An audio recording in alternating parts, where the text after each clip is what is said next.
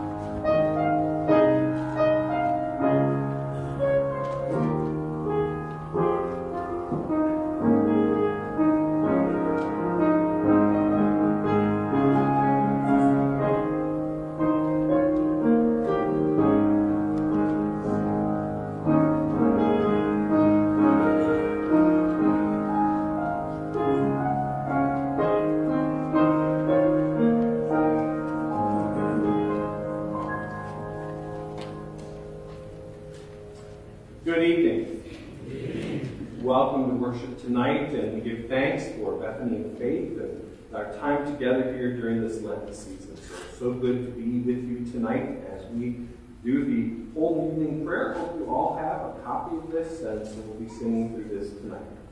And so, with that, we'll begin our time together. Ask that you please stand as you are. We begin in the name of the Father, and the Son, and the Holy Spirit. What is baptism? It is water used according to God's command and connected with God's word. What gifts does baptism grant? It brings about forgiveness of sins, redeems from death, and gives eternal salvation to all who believe. How can water do great things? The water does not do this alone, but the word of God with and alongside of the water and faith. This is a grace-filled water waterfall. A bath of new birth in the Holy Spirit.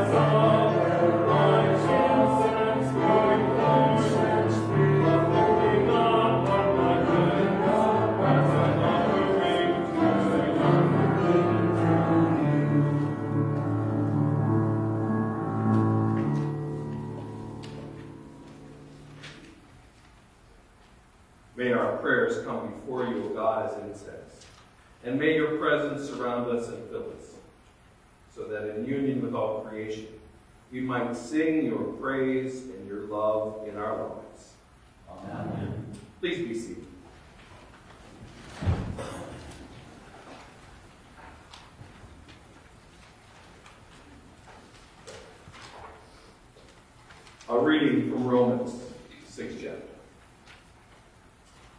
What then are we to say? Should we continue to sin in order that grace may abound? By no means.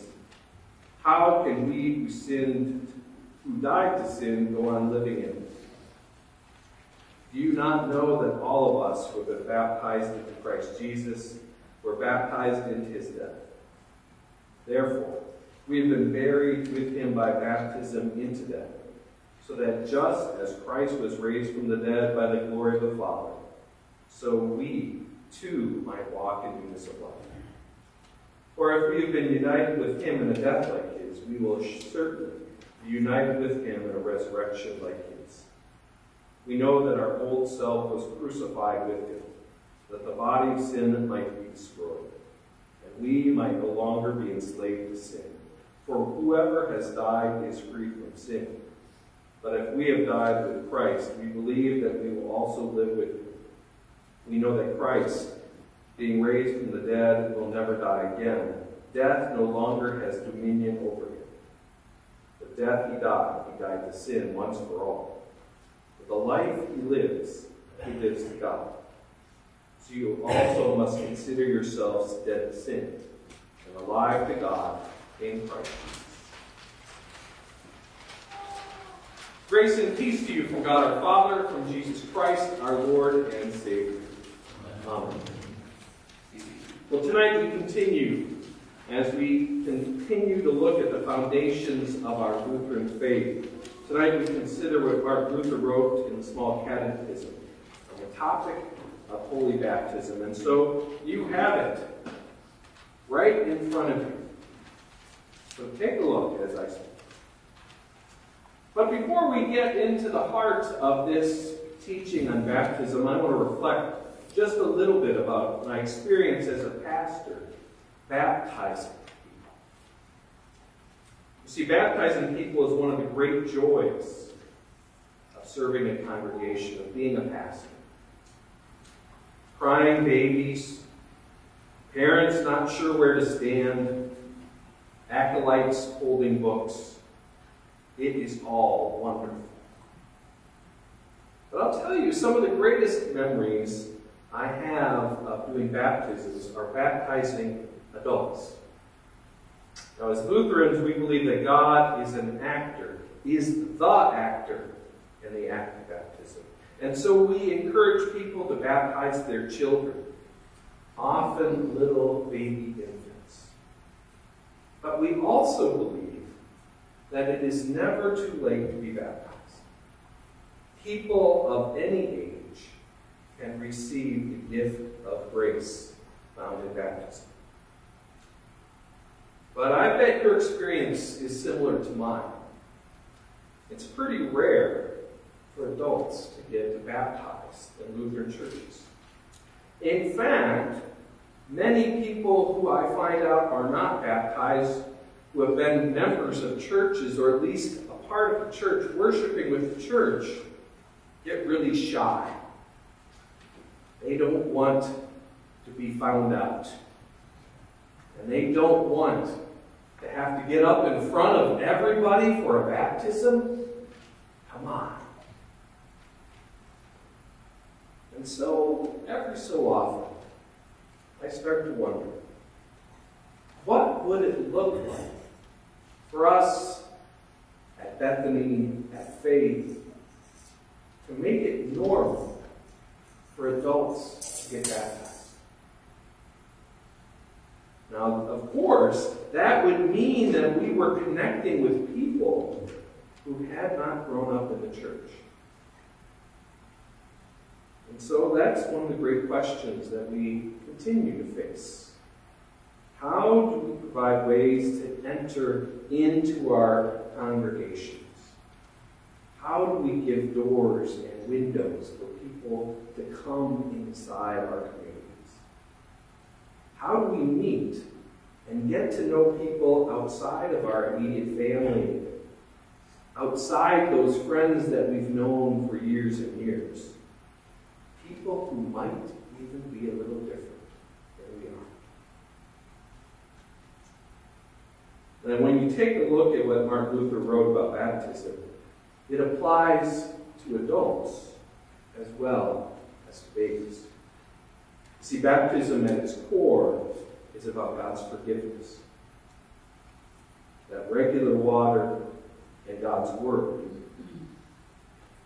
that washes us clean of our sin. As it says Jesus gives the command in Matthew 28 Go therefore and make disciples of all nations, baptizing them in the name of the Father, and the Son, and the Holy Spirit. And what are the gifts of baptism? It brings forgiveness of sins, redeems death and the devil, and gives eternal salvation to all who believe. As the words and promise of God declared. So, another aside. Do we live in a time when people don't see the need for forgiveness? Do we live in a time where people believe that we should all be free to believe whatever we want, just as long as we don't interfere with someone else? Question, put another way, do people still believe in sin? Now, Believe that people look around and they see that our world is broken. On a global scale, we see this in war, in famine, people starving.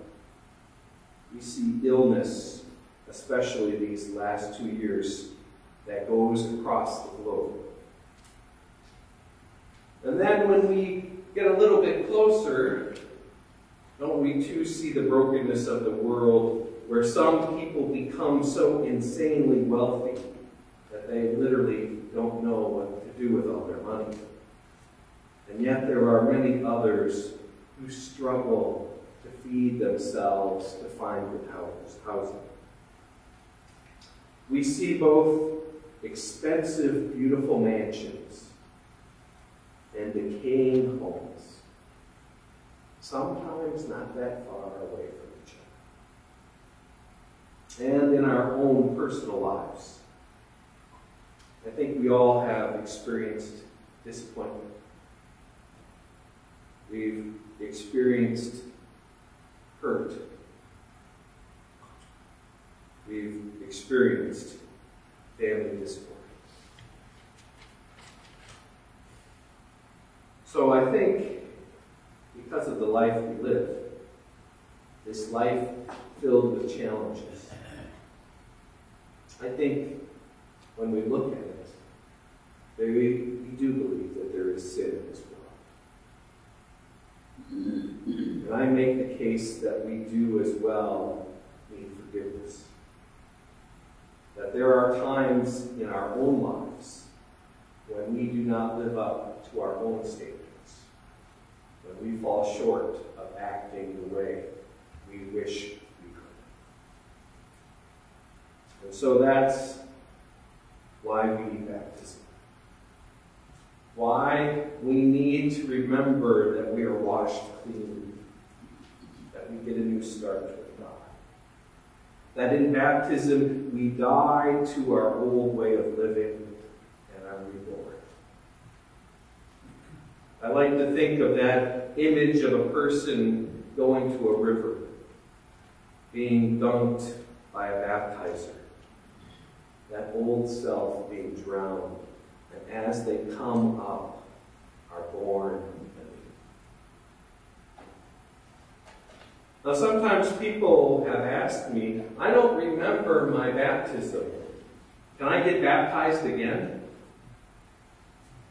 The answer I give is one baptism is all we need. We believe that baptism is not a one-time event. Instead, instead, we look at what Luther writes, that in baptism all sins and evil desires are to be drowned and die through daily sorrow for sin and repentance. And on the other hand, that daily a new person is to come forth and rise up to live before God in righteousness and purity forever. Now, let me tell you, there's days that that's hard to believe, isn't it? But we do. And we look at what Romans 8 tells us. And Romans 6 says, and we take it seriously. We were buried with Christ through baptism into death, so that just as Christ was raised from the dead, we too might walk in newness of life. And so we remember Jesus' ministry, how he spent so much of his ministry talking to people who were on the outside, those who were on the edge of society the poor, the unclean, tax collectors, prostitutes. People who lived lives that others viewed as sinful.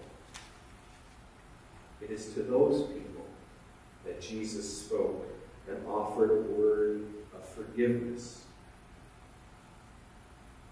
and acceptance. He had a word of grace to people who felt like they were the black sheep of the world. And I think part of Jesus' message to the world and to us is that all of us, not just some, have fallen short of the glory of God. And that means everyone needs to be made right with God. Everyone needs to be baptized.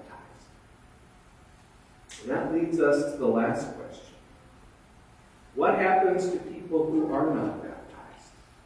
Are they condemned? Don't we all know many, many people who are good people who are not baptized? And so I remind myself that Jesus gives us a promise. All who believe in me and are baptized will receive eternal life. That is a good and great promise. We seek to trust it and to follow it.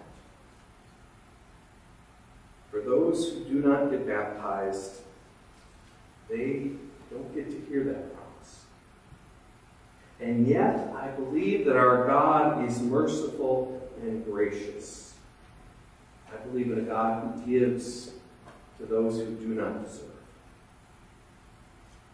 And so I simply say it's up to God what will happen to those who are unbaptized. That's not my job. I hope for a gracious action from God.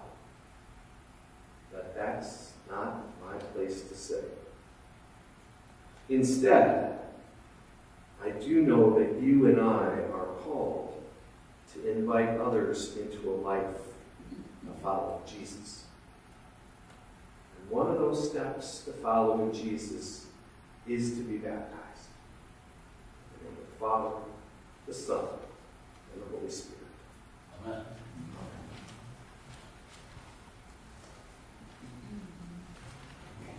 Our hymn of the day is We Are Baptized in Christ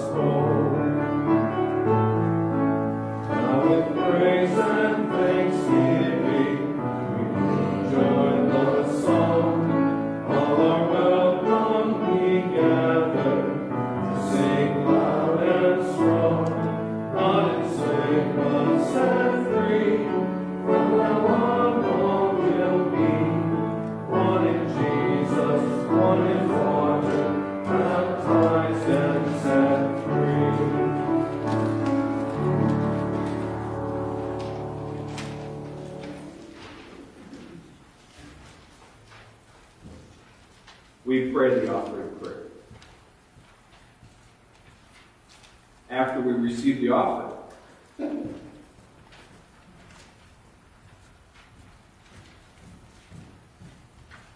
I almost missed you, Bruce.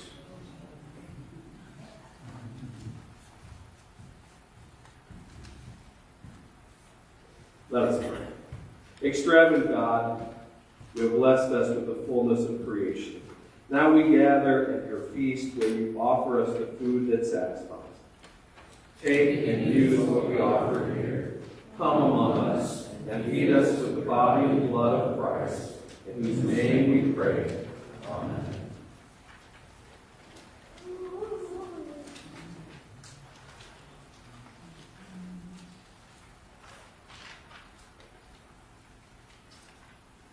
An angel went from God to a town called Nazareth. Sorry, Pastor. There's a line, the light shines. I don't Oh. know if you want to say that. Yep. I'll play for you. Shines in the darkness.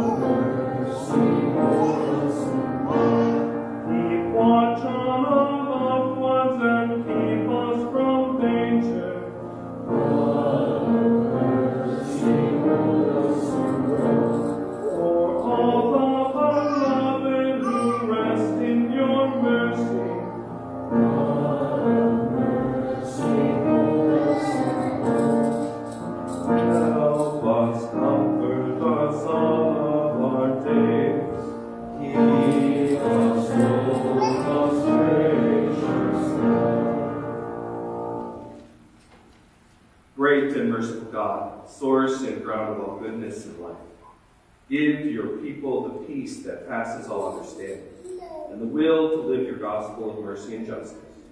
Through Jesus Christ our Lord. Amen. God, remember us in your love and teach us to pray. Our Father in heaven, hallowed be your name. Your kingdom come, your will be done, on earth as it is in heaven. Give us today our daily bread. Forgive us our sins as we forgive those who sin against us. Save us from the time of trial. Deliver us from evil the kingdom, the power, and the glory are yours, now and forever. Amen. Let us bless our God, praise and thanks to you, may God.